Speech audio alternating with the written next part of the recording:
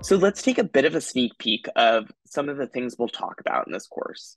In this course, we'll be talking about folks who don't have typical hearing. So let's hear what speech sounds like when you have a hearing loss. Um, we'll start with a mild, normal, then we'll move to mild, then moderate, then severe. You can prevent hearing loss by keeping away from loud noise. Wear Mild. earmuffs, earplugs, or other hearing protection whenever you're around loud sounds. Moderate, Loud noise causes permanent hearing loss. A high severe. hearing loss makes it difficult to understand conversations. I want to show you how even with a mild hearing loss, it can be pretty hard to participate in the hearing world.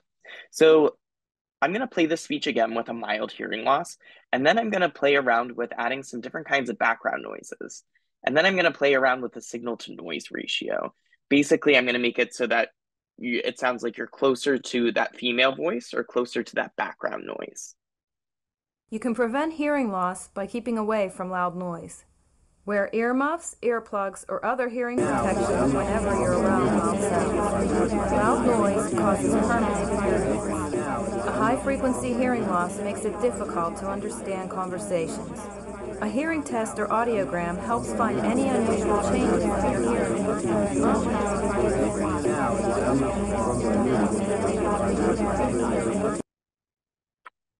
So there were probably conditions where it was a little bit easier and a little bit harder to hear that speech.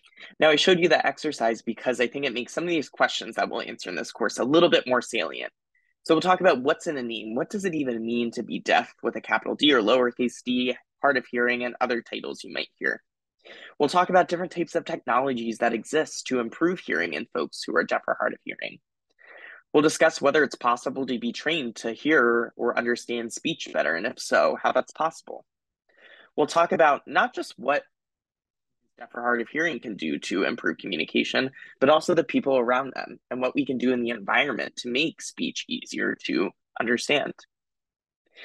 We'll also talk about SLPs and audiologists and the role of being a counselor, because counseling is part of our profession. And that looks really interesting in aural rehabilitation. We'll also talk about all of those things and more in the context of what aural rehabilitation looks like from the youngest of kids, newborns, all the way through the end of life. This course is set up in an eight week term. So you'll have eight modules that will focus on one particular unit.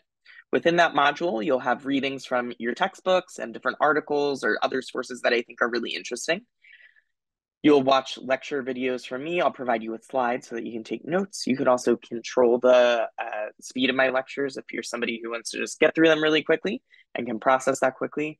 If you're somebody who likes to play them really slow and take really dedicated notes, you can do that.